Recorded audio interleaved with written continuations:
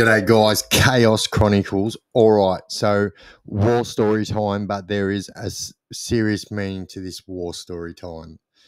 So, this goes back to, you know, probably 12 months after I got out of prison from doing my big one. So, I'm talking maybe 2020, four years ago. And so, one of my friends, actually my tattooist, was having like a fight with somebody, and this somebody had threatened to, um, you know, do bad things to his daughter that was about seven at the time. Now, me being who I was, um, sent this guy a message on a Facebook account that is, you know, and that wasn't mine, and said, you know, you're going to regret saying that, mate you know, I've made light of this before. You know, there's an old adage that sticks and stones will break my bones and words will never hurt me. That's not true. Words will get you killed, and many people have died just because of words. So don't ever get that twisted in that world. And so, anyway, let's fast forward a month. We're, we're fast forward a month. I am at the bank and I had my colours on and so, anyway, next thing you know, Echo Task Force rocks up and arrests me. And I was actually taking my like 57 year old friend to the bank because they needed a lift, right? And so I get arrested, and they said, You are under arrest for attempted murder, um, possession of a firearm, use firearm in a public place, all this bullshit, right? And I'm like, What the hell? And then, so anyway, I'm going to put, I'll put the allegations to you so the allegation is this the allegation is that I got two of my friends to drop me off at that location. Um, and then the also allegation is that they um, they allege that those two people um, um, like coached this person out of his house. And so, and they also allege that at this time, I was waiting in the dark at the back of his house at the gate, and these people were standing at the gate, getting him to come to the gate. And then they they they allege that that that I ran up from behind, kick kick kick this guy in the back of the legs, in the back of the knees, so he fell to his knees, and then um, continued to put him and and it's alleged that I continued to put this person in the execution position with a firearm, um, a pistol. They are alleging um, to the back of this person's head and said, you know, say good night, sayonara. Um, you know, you don't threaten to to do sexual things and and kill young girls. You know, that's the allegation. And then also the allegation is that the person who did this pulled the trigger, but the gun backfired and fizzed in this person's hand, which gave the victim enough time to run away and and and get away. Um, whilst he is the victim is alleging that that I, he's saying that it was me, is trying to load this gun and reload this gun and get it to work, you know. Now,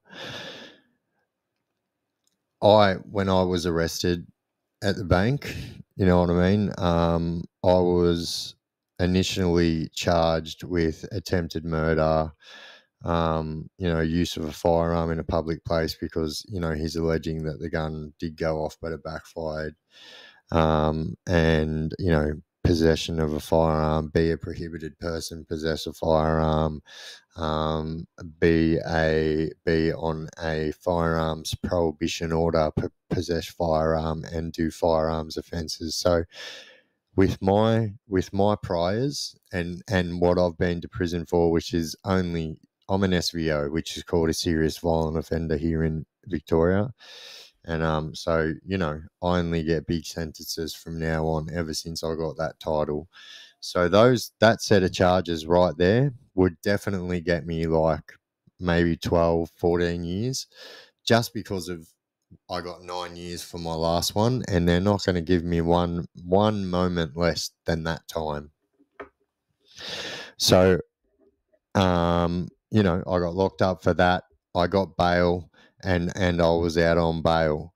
So we are going through court. I was obviously taking this to trial because you know I'm stating even to this day that that, that, that was not me that done that and um, so we were taking it to trial, and then all of a sudden, um, my barrister rings me up and he said the the prosecution and the police have told me they've just received a silver bullet. They have the gun that they are alleging that you used to try and shoot this person. And which was quite funny. I was like, oh, really? Um, okay, produce this firearm. So anyway, they they they they put this firearm into forensics or whatnot, you know, to see if if if if not it's being used or whatnot. And the absolute truth of the matter is, this absolute moron has got a replica firearm off somebody and thinking that it was real, like this person absolutely thought that this replica firearm was real. He's then handed that into the police, thinking that it's going to help his case and my and and really like sink me on my attempted murder case. And um, you know, the truth is, um, you know, that was a replica, and and that that right there, that right there put the nail in the coffin. That wasn't a silver bullet. That put a nail in the coffin. And literally, when my when my case got to committal mention, because I was taking it to trial in the county court, when when when my case got to committal mention and all the evidence got put forward, my barrister ate them alive and said, "You are absolutely fucking kidding me. You are trying to tell me." That you were going to use that as evidence when that gun cannot be or has not ever been used. It is a replica firearm. It is basically a metal, a metal cap gun, but it can't even shoot caps. It doesn't even do nothing except for it's a movie prop. It was a movie prop. That's what it was. And so um, all charges dropped. Um, and uh, yeah, so that that that right there which they thought was the silver bullet that was going to be the nail in my coffin, ended up being a bullet that smelt like poo and and put the nail in their coffin. But the whole point of my story is if that hadn't have happened, regardless of what, you could never tell the police or the prosecution that I didn't do that. So I was going to go down for that, and I was definitely going to be doing bulk ears because I am not a dog and I don't speak, you know?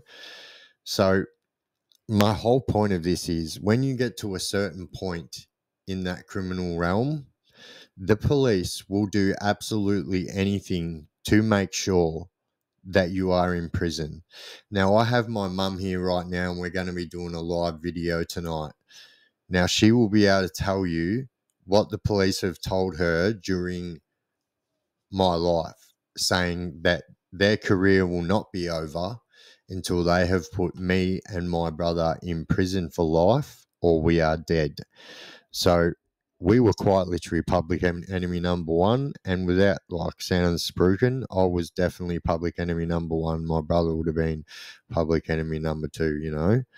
Um, and that's the way they saw it. Um, and, and it wasn't always that way. My brother was public enemy number one. And then, you know, I grew up and, and and I guess I guess I wanted to prove to everyone because I was always younger and I'm so much younger than my brother and I just wanted to prove to everyone that I was crazy. And this is the thing.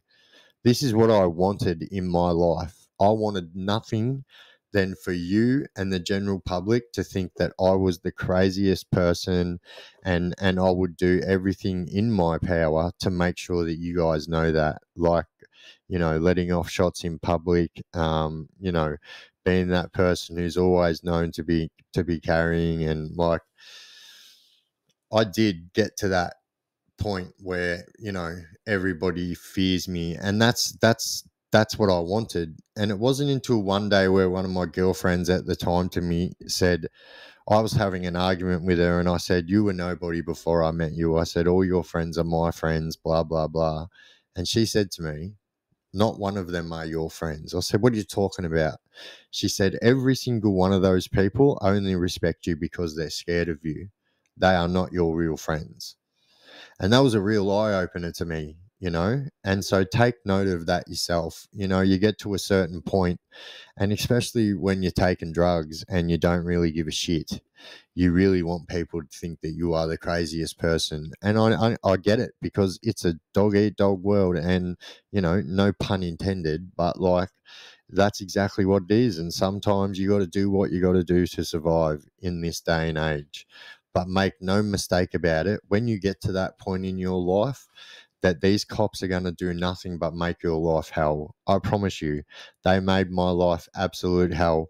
But don't worry, on that same token, I did my utmost best to make their life absolute hell.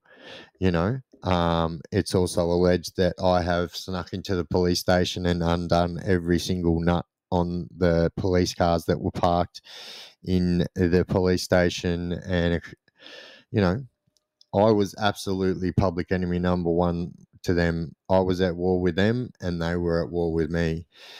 And I guess, you know, this brings me to the end of my video where I always say my piece, but I really need you guys to take heed of what I, I'm saying here.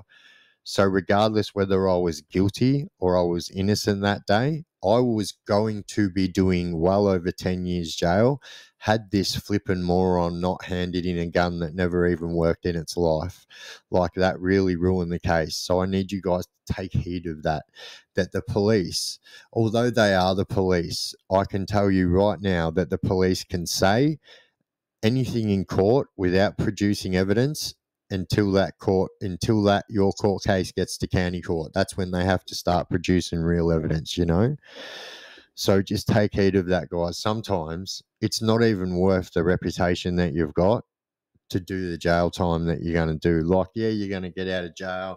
Your, your mates are going to fear you because you're the only one who's been to prison, this and that. And, and, and it is quite a, you know, it's a feeling that I quite enjoyed. You know what I mean? But I promise you, that it's only only ever going to end up in t- turmoil. And look at me, I've been stabbed seven times, I've been shot, and I'm lucky to be alive. And I'm lucky to be here right now to tell you that that was not the way to live your life. So please, especially my youngins that are out there and respect me and and and and know that I was a real one and I'm telling you how it is, guys, and this is exactly how your life will end if you continue doing what you are doing. And not only that, you're going to have your family. I've got my mum here, like I said. They are the people that do the jail time. They are the people that are worried when you are on Australia's most wanted and the police ring your mum and say if he doesn't hand himself in, we're going to shoot him. He's listed as arms, armed and dangerous. They are the ones that go through the pain and the turmoil, not us.